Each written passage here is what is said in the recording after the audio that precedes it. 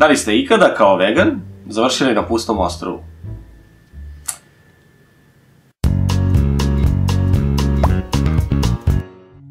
Zdravo svima i dobrodošli nazad na moj kanal. Jedno od zasigurno najzanimljivijih pitanja koje su mi postavili od kako sam postao vegan je ono čuveno šta bi ti radio da si na pustom ostrovu i da imaš jedino životinje za jelo? Mm? Da, definitivno ovo i ono drugo da je Eva bila odgovorna za posrnuće čovečanstva zato što je pojela jabuku. Hvala Dalibore.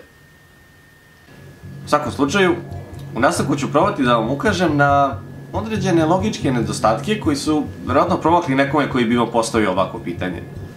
Smatram da nema potrebe da naglasim da jedno ovako pitanje je u potpunosti zasnovano na absurdu i odsustvu logičkog rasuđivanja. Stoga, rešio sam da jedan ovakav absurd podignem na jedan potpuno viši nivo u cilju boljeg razumevanja i razotkrivanja mehanizama koji stoje iza toga. Ako to ima smisla. Uglavnom, kada neko kaže pusto ostrvo, u mojoj glavi to izgleda ovako. Pusto ostrvo, po definiciji, je neko udaljeno mesto na kojem ne postoje odgovarajući uslovi za život, stoga nije naseljivo. Ako to uzmemo u obzir, prvo pitanje koje mi pada na pamet je kako je ta životinja završila tu? Ukoliko se složimo da ljudi ne mogu preživjeti na jednom ovakvom mestu, pod kojim onda okolnostima bi životinja mogla da, da opstane? Drugo, ukoliko je ta životinja bila tu sve vreme, čime se je hranila? Tamo gde ima životinja, ima i biljnog sveta. A samim tim ima i plodova tih biljaka kojima bi ljudi mogli da se hrane. Zatim, šta je sa vodom? Koliko ja znam, pusto ostrvo po toj nekoj definiciji se obično nalazi usred nekog ogromnog okeana bez nastanjivih mesta u blizini. A svi znamo da ne možemo da pijemo slanu vodu. U takvim okolnostima bismo verovatno umrli od dehidracije daleko pre nego što bismo se osmelili uopšte da pomislimo na hranu. Poslednje, možda čak i najvažnije pitanje od svih je da li biste jeli druge ljude ukoliko bi vam život zavisio od toga? Recimo, hipotetički, da je na tom pustom ostrovu sa vama završio neko ko je vaš prijatelj, poznanik ili jednostavno neko ko je istim spletom nesrećnih okolnosti završio tu sa vama.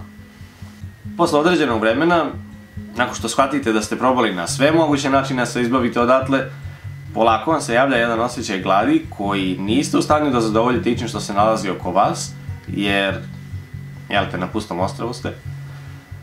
Tako da, šta biste tad radili? Da li biste po takvim okolnostima dozvolili da vaš instinkt navlada razum? Ili biste ipak ostali dosledni svojim etičkim principima u trenucima egzistencijalne krize? Težak izbor, sve ne?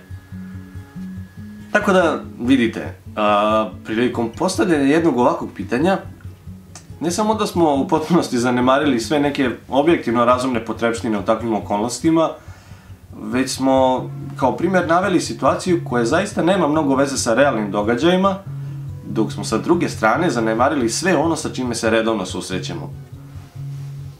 Kad smo već kod toga, zapitajte sebe sledeće.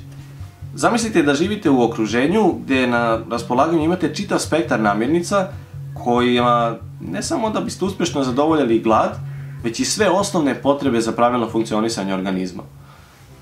Da li biste u tom slučaju dali sve od sebe da činite manje štete po životinje, njihova životna staništa, našu životnu sredinu i manje štete po naše zdravlje, opstanak drugih ljudi i jednostavno manje štete za sobstveni osjećaj ispravnosti.